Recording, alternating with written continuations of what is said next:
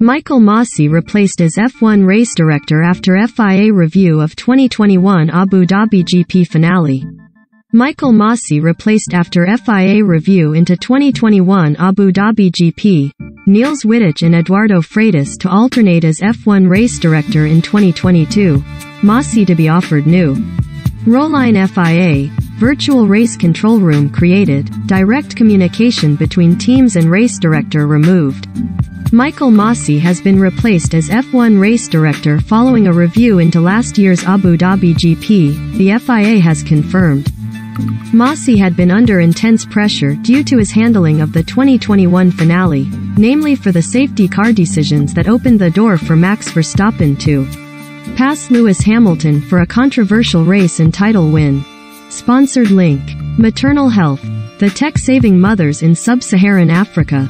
Euronews. Recommended by FIA President Mohammed Ben Sulayem confirmed a number of structural changes as part of a step forward for Formula One refereeing on Thursday, one being that Niels Wittich, former DTM race director, and Eduardo Freitas, WEC race director, will act alternatively as F1's race director. Masi will be offered a new role within the FIA, which Sky Sports understands will be a safety role. Share. This is a modal window. Unsupported location. The video you are trying to watch cannot be viewed from your current country or location. Wittich and Freitas will be assisted by Herbie Blash as the permanent senior advisor, with Blash returning to F1 five seasons after stepping down as deputy race director to the late Charlie Whiting. The new race management team will be in place from next week's test in Barcelona. A virtual race control room will also be created, likened to football's VAR, while direct radio communications between teams and the race director will be. The unlapping procedure behind the safety car is also to be reviewed by the F1 Sporting Advisory Committee and presented to the F1 Commission prior to the season getting underway in Bahrain on March 18. What happened in Abu Dhabi and why has Masi been replaced? In the final stages of the Abu Dhabi GP on December 12, Masi handled the late safety car period in a way not prescribed by the F1 rules, and the decision had a huge impact on the championship. The Australian, who has been F1 race director since 2019, ordered only the lapped cars between Hamilton and second-placed Verstappen through under the safety car, providing the Dutchman, on fresh tires, a shot at passing Hamilton, who was on old rubber, on the very final lap.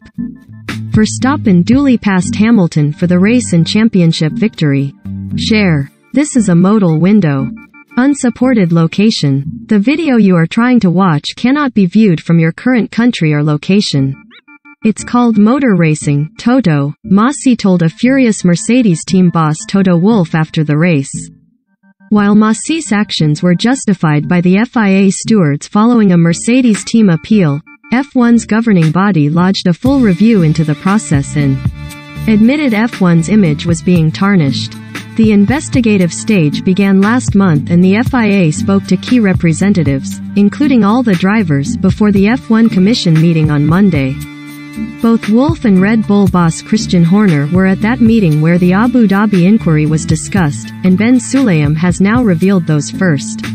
Masi's removal as race director comes just a day before the launch of Mercedes' new car and the return of Hamilton with a media interview.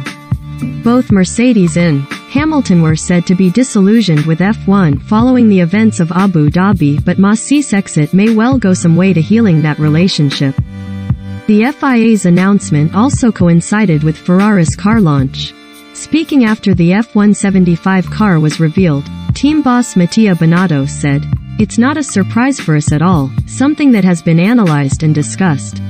With all other teams, what happened in Abu Dhabi has been over-discussed, over-analyzed. I think the fact it took so long shows the complexity of the matter, nothing obvious. It's very difficult to say everything was wrong, any mistakes or not. Certainly when you're taking such a decision, you're under a lot of pressure in the heat of the action, the pressure is very, very high and the communications from teams to race director certainly doesn't help. It was not an obvious situation and a difficult decision to take. We need to trust the FIA for its independence and its capacity to take the right decision to move forward. In that respect we can only support. At Ferrari we support the decision of its new chairman and the entire FIA, and we will continue to collaborate to improve the future for our racing. FIA President Mohammed Ben Sulayem's proposal in full. Firstly, to assist the race director in the decision-making process, a virtual race control room will be created. Alike the video assistance referee, VAR, in football, it will be positioned in one of the FIA offices as a backup outside the circuit. In real-time connection with the FIA F1 race director, it will help to apply the sporting regulations using the most modern technological tools. Secondly, direct radio communications during the race, currently broadcast live by all TVs, will be removed in order to protect the race director from any pressure and allow him to take decisions peacefully.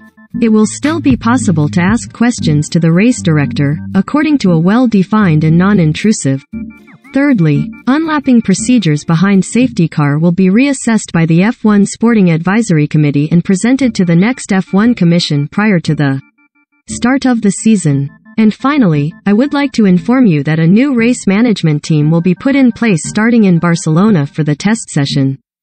Niels Wittich and Eduardo Freitas will act alternatively as race director, assisted by Herbie Blash as permanent senior advisor. Michael Masi, who accomplished a very challenging job for three years as Formula One race director following Charlie Whiting, will be offered a new position.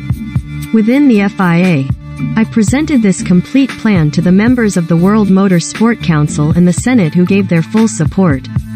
With this plan, FIA opens the way for a new step forward in Formula One refereeing. Without the referees, there is no sport. Respect and support of the referees is in the essence of the FIA. That is why these structural changes are crucial in a context of strong development in the legitimate expectations of drivers, teams, manufacturers, organizers, and of course, the fans.